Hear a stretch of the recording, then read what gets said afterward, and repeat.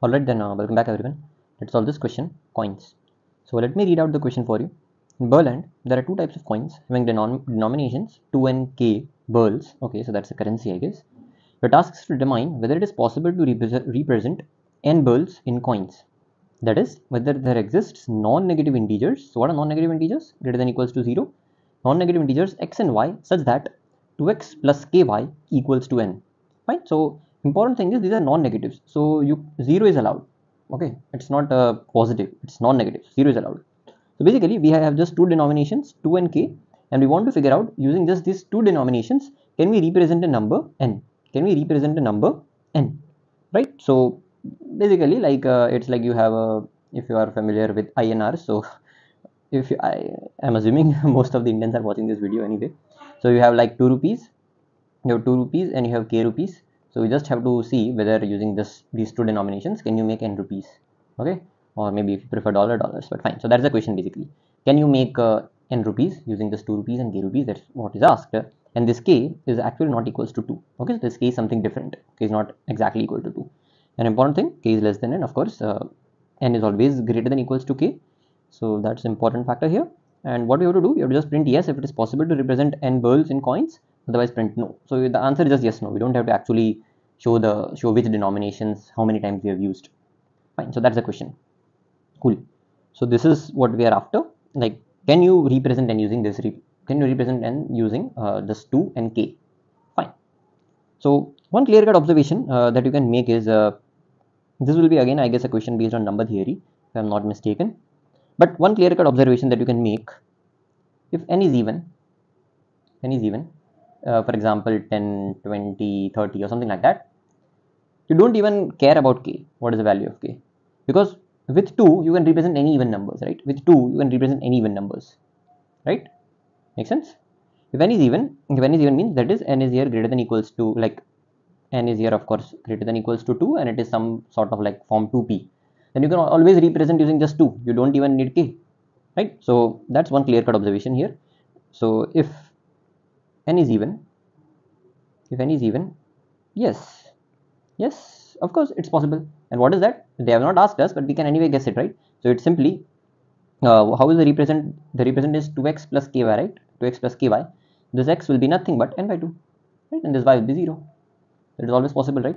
So if n is even i guess it's not very difficult to observe.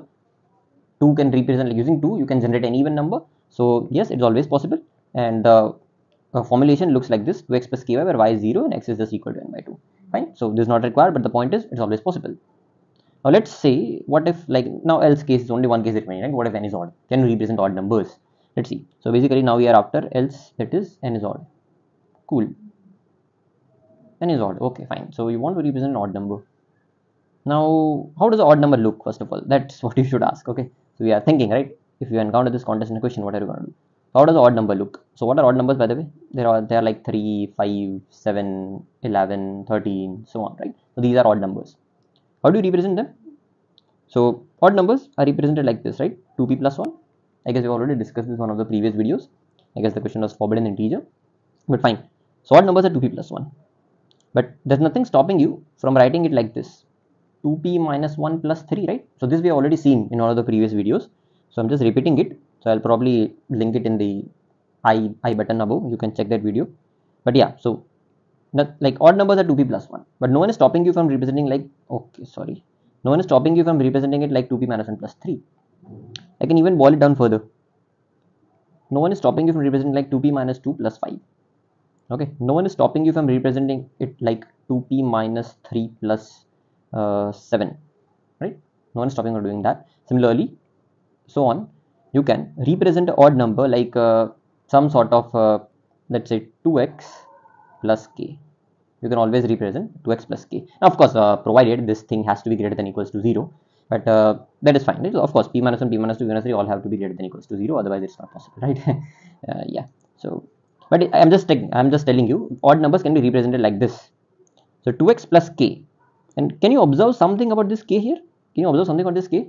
1 3 5 7 what is this this is odd right? This is odd. Right? So what did we found out? Uh, any odd number can be represented like 2x plus k where k is odd. Right? Where k is odd. Right? Any any odd number let's say we are discussing about n right? So any odd number n can be represented like 2x plus k. 2x plus k. So if you think about it that's what we are after here. We are uh, we want to represent n using 2x plus k only. 2x plus k only but the condition just one here is that it has to be odd. Right? So what is what does the question become now? You can represent if n is odd but k has to be odd. Right? But k has to be odd. So here you can just write something like this. If k is odd if k is odd yes. Is odd yes. Else no. So that's that. Okay. That's the question. And dusted. So let me repeat uh, the question for you if you are if you are still confused. So if n is even it is always possible of course if even number is there with just 2 you can represent all the even numbers. But what if n was odd? Then we just looked how are how can the odd numbers be represented? So odd numbers are 2b plus 1 2b minus 1 plus 3 so on irrespective of what i'm saying is the general notation for odd number is 2x plus k and where this k is odd. 1 3 5 7 right? And this x can be of course greater than equals to 0 we already discussed it.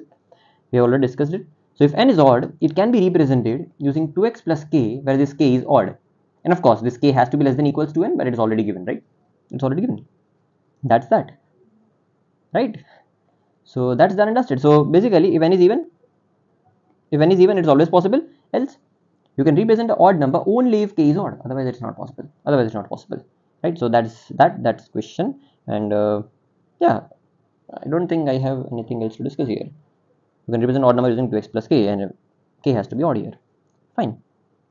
So let me just show you the code. So i'm not going to waste your time by writing the code here because the code is very small. So if n is even it's always possible yes. But if n is odd it's only possible if k is odd. So this odd i have implemented okay? So it just k mod 2 equal equals to 1 that's what i've written. Yes otherwise no. So yeah that's that. Uh, thank you for watching. I'll see you in the next one